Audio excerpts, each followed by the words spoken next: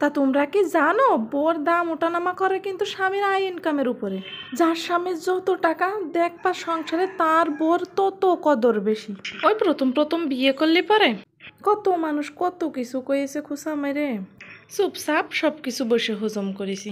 তা করছে শোনা গো, মানুষের দিন কিন্তু সব একরকম যায় না। সময়ের সাথে সাথে মানুষের মন, রুচি, টাকা সব কিছুরই পরিবর্তন ঘটে। আগে কত মানুষের বাড়ি গেলেই সোনা, মধু, পাখি, ময়না কয়ে বসায়ে বাড়ি সব কাজগুলো করে নিত। আমিও নিজের ভাবে সব কাজগুলো করে দিতাম নিজের মানুষটা করব কি?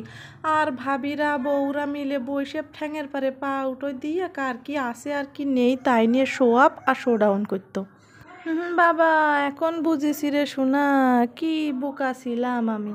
আল্লাহ যা দেশে তাই নিয়েই আলহামদুলিল্লাহ হয়তো শো আপ আর শো ডাউন করে কি হবে? ইলিশ মাছের লেজা, এ মোটে কেউ খাতে চায় না রানলি। কাটা আর কাটা ভরা থাকে। তাই নুন, হলুদ মাখায় নিয়ে এইবার ডায় কাটা বাস্তি বসে গেছি। সবার দায়িত্ব আমি গাকা গাড়ে নিছি।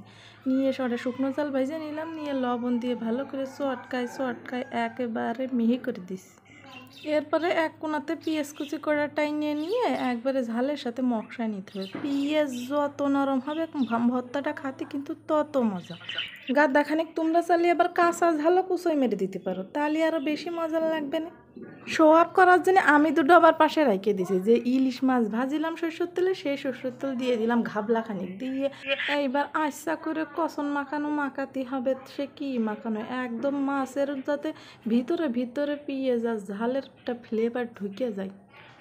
ধনে পাতা দিলে কি মজা যে লাগতো? তা দুর্ভাগ্যবশত ধনে পাতার বালাই নেই আমার বাড়ি। তো তোমাদের বাড়ি যদি ধনে পাতা থাকে কুচোয় চলি বললি কেন? মাকায় নিয়ে নে। দেখো দিনে কি ফাইন একটা ভর্তা তৈরি হয়ে গেছে। নিয়ে নিছি গলদা গলদা চালির ভাত, আর নিছি সেই তেলটা, ভর্তা আর কাঁচা ঝাল। দিয়ে চল্লি বললি করে মাখাইয়ে গালের মধ্যে দিছি পুইরে। ওহ, এ স্বাদের কথা কি আর কব? গালের মধ্যে যেন ইতির আনন্দ শুরু হয়ে গেছে। সাথে সঙ্গে কাঁচা ঝাল, এক কামড় দিলে গালের মধ্যে যেন বম বাস্ট হচ্ছে। তা ভর্তা কিন্তু তোমরা একটু বেশি করে করে নি, না হলে অল্প একটু খাই মন ভরবেন না নি। আমি আর একটু পরে নিয়ে নিছি। ভাত খাব কি? ভর্তা তো বেশি মজা। ইলিশ মাছ যারা কাটার ভয়তে খাতিছে না, তাগের একবার এইরকম করে লেজের ভর্তা বানাই দিয়ে নি। আজকে আমি চলে যাচ্ছি খাতি খাতি, সবাইকে ধন্যবাদ।